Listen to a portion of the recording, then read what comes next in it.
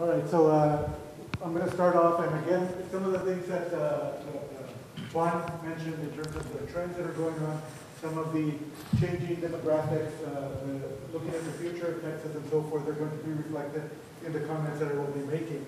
A little bit in terms of looking at the uh, significance of uh, of children, uh, when we think about uh, social, economic, political conditions, and that is that the relative size of, uh, of a population uh, consisting of children, for example, reflects current population trends. For example, whether there are high levels of fertility, low levels of fertility, how fast the population is growing, and so forth. And then, very importantly, the, uh, the size of the uh, children population also portends changes that are going to be coming with respect to a, a, a given population. In addition, in issues uh, involving uh, human rights, for example, social justice, and so forth, quality of life often reflects uh, the societal treatment uh, of, uh, of the children population, as well as the overall well-being and bienestar of, uh, of children in, in the community. If we look at the, the state of Texas, we can also see that there is a significance of uh, Texas here, the second largest state in the country, and very much increasingly so what we've seen uh, has been the national, national trends are being driven increasingly disproportionately by Texas. As uh, Gail Collins uh, recently wrote in her book, uh, As Texas Goes, uh, how the Lone Star State. Okay. okay her book that just uh, came out recently, As Texas uh, Goes, How the uh, uh Lone Star State Hijacked the American Agenda. Uh, so we see this, uh, this influence that Texas has been having, and this is particularly the case when it comes to the demographic changes taking place in, in the United States. So let's take a look first at, at the national terrain, and we can see here these are the, the 10 states, for example, that experienced the greatest absolute change in the children population between 2000 and 2010. Uh, and you can see Texas was at the top of the list here, with Texas about a million additional children that were added to the, uh, to the state's population. Overall in the country, there were about 2 million uh, uh children that were added to the population. So you can see Texas, the power that it had about 51% of the overall national growth in the children population occurred here in the state of Texas. Then you can see the other states Florida, Georgia, North Carolina, Arizona, Utah, Nevada, Colorado, Virginia, and Tennessee. And one of the things that, that is reflected in these particular states is that many of these are states that have large, significant Latino populations, or there are these new destination areas in the South, for example, that have experienced tremendous growth of the, uh, of the Latino population. And then we can look at the percentage change uh, in the children population over the 2000 to 2010 period. And you can see again, these are the 10 states with the greatest increase. Many of these are new destination areas for Latinos. You can see Texas, 17.5% increase during the, the, uh, the decade, uh, ranked number four. Nevada, Utah, Arizona, North Carolina, Idaho, Georgia, Colorado, uh, Florida and South Carolina. Again, very much you can see the presence of Latinos uh, and the influence in these particular areas. Um, increasingly, what we've been seeing is a, is a movement towards minority majority states with respect to, uh, to the children population. And we can see, for example, uh, in, uh, in the year 2000, there were uh, six states where um, whites accounted for less than 50% of children, uh, District of Columbia, Hawaii, New Mexico, California, Texas, and Arizona. By 2010, you can see that there were uh, an additional five states, so now we have 11 states. Every year, we're going to be increasing the number of states that are going to be minority majority states.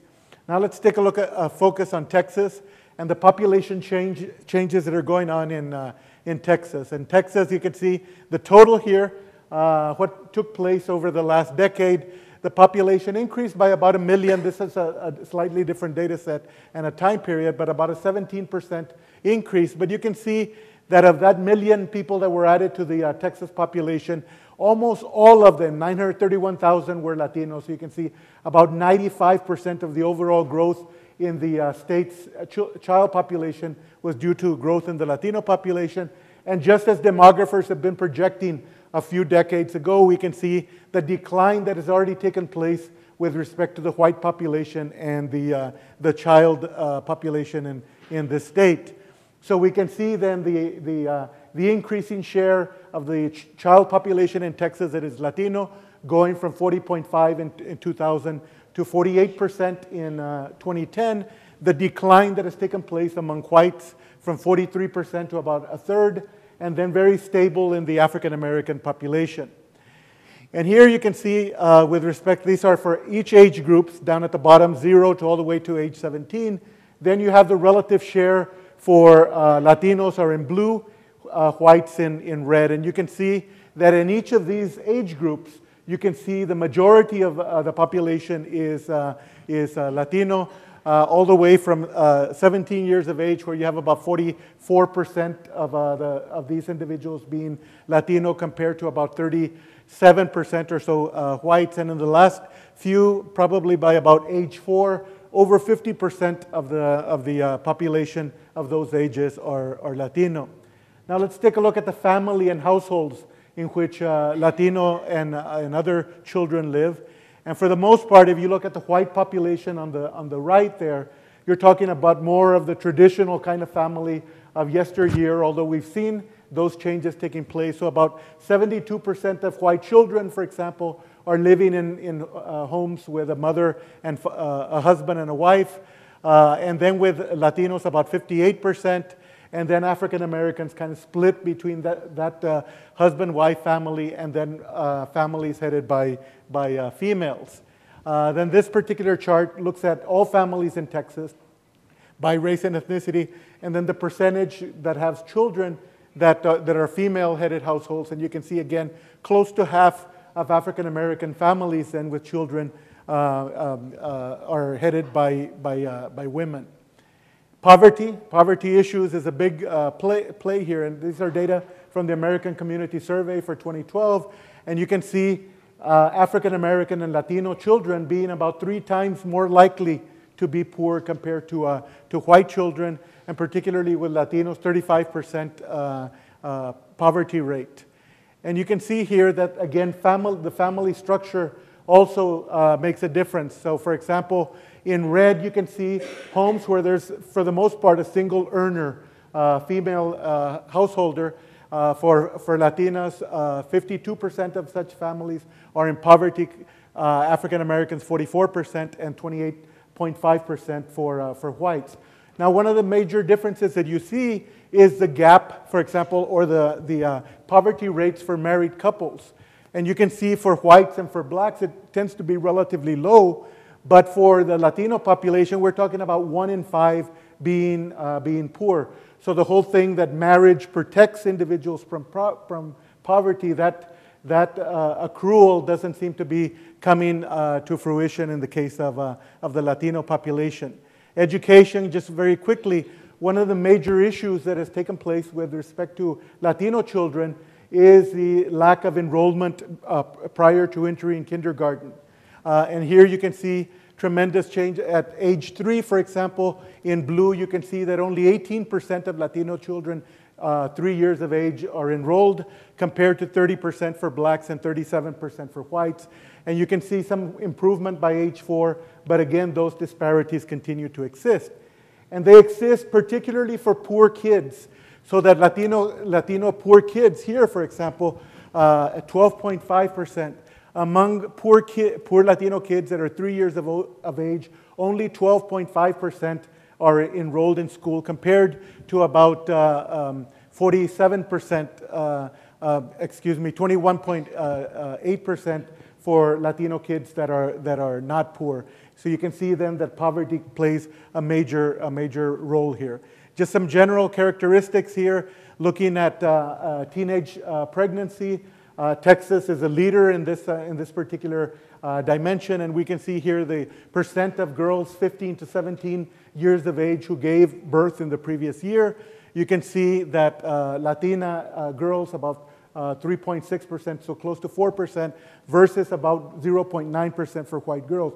And this, of course, has severe consequences for the future because once uh, uh, kids have a, a, child early on, the probability of being in poverty continues to exist and uh, dramatically increase. And you can see the, the uh, dropout kind of rates for 17 year olds, the lack of insurance that Anne will be talking about, but particularly for, for uh, Latino kids, almost a fifth uh, that are children having no insurance, the unemployment rates, so that for kids then having that experience of being in the labor force, many kids, particularly Latino and African Americans, African Americans, a 62% unemployment rate. Uh, and then you also see the disability that exists uh, that is relatively high for Latino and African American kids. Health matters here. Uh, the in infant mortality rate, you can see some of the differences that take place, and some surprises having to do with the Latino population. So with the, uh, excuse me, this should be the, uh, the black population. Uh, and these two should be switched over. So uh, blacks have the, uh, the infant mortality rate of 11 uh, per 1,000 births. Uh, blacks and Latinos are relatively similar at 5.5. This is the paradox that, uh, that epidemiologists talk about, the Latino paradox, that despite being very poor, the population tends to do relatively well with respect to mortality. And you see this with respect to um, life expectancy. Uh, life expectancy is the highest for Latinos and Latinas despite having high levels of poverty, low levels of education, low levels of health insurance, and so forth. On the other hand, uh, with a black population, it tends to be much lower. And again, a paradox that we can talk about uh, as uh, time permits. So the future of Texas, increasingly very clear. Uh, the future of Texas is increasingly made up of uh, people of color, especially Latinos, and decreasingly a white population. Uh, just as uh, Gail Collins has talked about, as Texas goes, so does the rest of the, rest of the nation. Here, as, as go Latinos and, and African Americans, so goes uh, uh Texas. And as Juan pointed out, we've seen very clearly that children and their education and preparation has not been a top state priority. and in fact, very much short term thinking and a lot of politics that also has gotten involved here. And again, very, uh, there's a clear need to see Latino and African American kids not as liabilities, but rather an asset, as assets uh, uh, in terms of investing in their future. The reality is with these demographic changes, the Latino population and African American populations, per, persons of color, increasingly are going to impact the different institutions. Just like baby boomers impacted each of the institutions as they went through, the, through their lives and now are impacting the healthcare as they're reaching retirement age, so too will you see Latinos, for example, uh, children of color impacting. Who's going to be the military, uh, the people fighting wars, for example, who are going to be the consumers, the workforce, people who are going to be entering higher education, uh, the, the voters, for example, the candidates, who are going to be the healthcare workers and so forth religious institutions, as you see these demographic shifts, you also see uh, uh, different denominations recruiting Latinos and other groups. Housing, all of these are going to be impacted. Uh, but what we've seen is rather than trying to groom and prepare Latinos for the future, what we've seen is really critical roadblocks trying to block their progress, block their, their potential political uh, uh, empowerment. We've seen this with the anti-state and local uh, anti-immigrant uh, policies, the attack on affirmative action, bilingual education, cuts to public school education, uh, the booming incar incarceration of people of color, political redistricting, as well as voter ID. All of these then affected, uh, affecting the Latino population in particular and African Americans. And again, strategies that have been used to try to minimize the political power of these particular uh, groups. So the big issues and the critical issues in terms of preparing better uh, Latinos and African Americans and other uh, uh people of color, we have to deal with issues such as the criminal justice system, the whole thing with the school to uh, prison pipeline that has become increasingly prevalent, particularly with the privatization of prisons and the mon money that is being made, the educational issues that are going on, dropouts and pushout rates, the health disparities that continue to exist, particularly lack of access to health care, immigration issues where you have deportations, massive deportations uh, uh, that are splitting families apart, jobs that continue to, uh, where we have a lot of people near poor or poor that continue to hold full, full-time jobs without the benefit of getting out of poverty. And then the whole issue of voting and, and representation, which we continue to see as, uh, as barriers in, in, in the community. And with that, I'll, I'll finish and uh, pass that on. You.